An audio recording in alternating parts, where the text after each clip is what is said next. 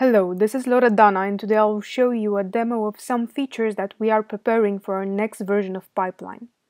This is one of the prototypes that we have been working on, trying out different rendering algorithms for graphs, integrating type checking and adding support for multiple languages like JavaScript and Python. We will create a graph using some basic functions that you can find in any language, like array concatenation, sorting, getting the length of an array, and so on.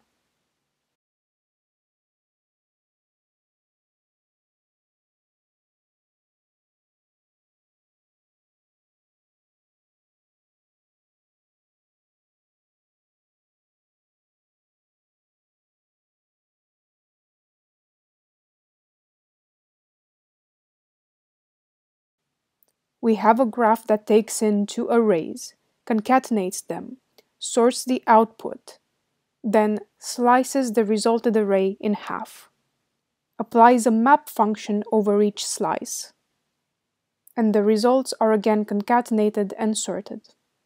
So we will have five inputs, the two initial arrays, the start index value for the first slice, and then the two functions that will be applied over each map.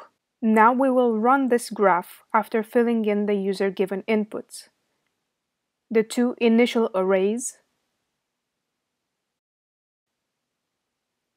0 for the start index of our first array slice, and the two functions to be applied with map. And the final sorted array on the right is our result.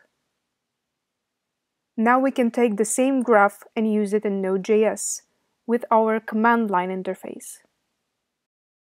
We save it in the graph4.js file and copy the same inputs in the input file.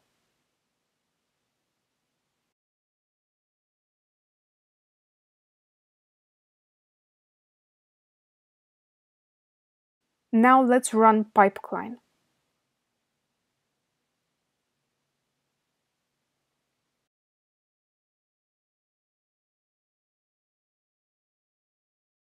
And we see that we get the same result as we did in the browser.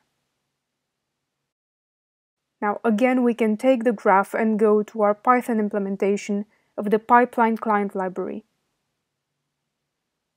And we run the Jupyter notebook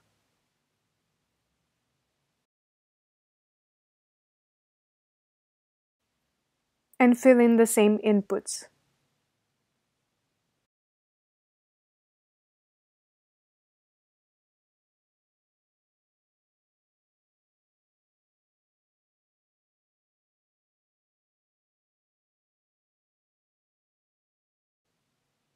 And we see that we get the same result.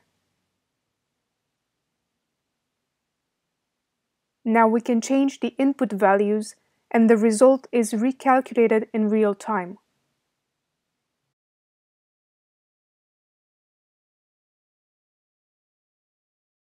So let's check if we again get the same result in Node.js and in Python.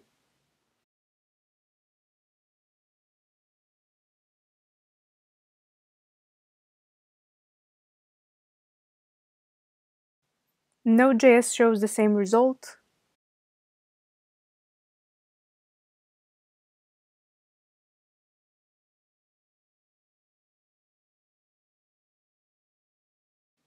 And Python shows the same result. So how are we doing this? If we go back to the graph, we can click on each node and actually see the source code associated with that node and it has both a JavaScript and a Python implementation.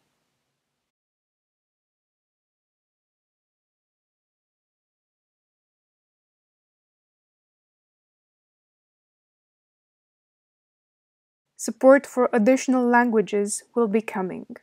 This was a preview of some future pipeline features. Thank you for watching. Stay tuned for more pipeline news and check out our other demos.